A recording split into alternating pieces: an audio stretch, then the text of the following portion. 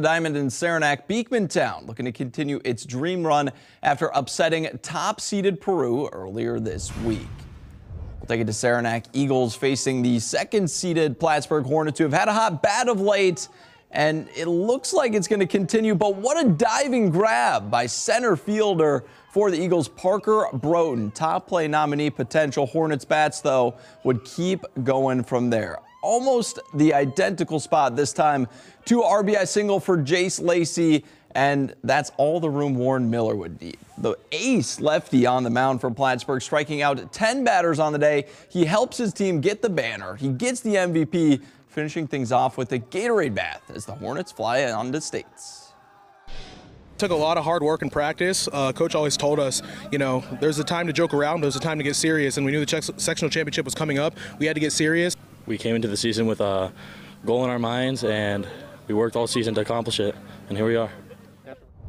So Hornets take home that sectional. Up north, we go to NCCS, though, for the Class D section championship. NCCS taking on or rather Lake Placid taking on Crown Point. Uh, right here, it's PJ Colby on the mound for the Blue Bombers. Absolutely shoving in this one, getting the first batter on a fastball that time on a curve. Had his way with the Panthers all day long. Blue Bombers with a six-run lead in the bottom of the sixth. Always can use some insurance, though. That's what John Cato is delivering. Sending a single up the middle.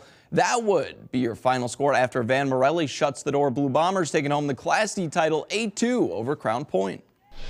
I mean, business is business. The job's not finished, so we just got to keep keep doing what we know how to do. Let's play baseball. Just go out there and play our best. Just our depth in our pitching and our, our lineup. It's deep. We can everybody can hit. So I think that's why why we're uh, set up to do well. And the Class C sectional finishing up today as well at SUNY Plattsburgh. Top seeded Ticonderoga looking to advance. Taking on NCCS, these two teams matched up once this season. Sentinels took in took that one, so the Cougs are going to be the underdog and was looking a little hairy early. Lizzie Rich legging out a triple for Ticonderoga. But NCCS was clutch all day long, in part because of the pitching of Bailey LaFountain, one of her two very clutch strikeouts on the day right there. And then the defense proving tough for the Cougars as well. That's Michaela Bresnahan catching the ball and doubling the Sentinels off at second. NCCS holding them to just one run. They take it three to one, the final. So disappointing for Ticonderoga. Good news though, Sentinels are in another section final tomorrow. Class C baseball against Moriah.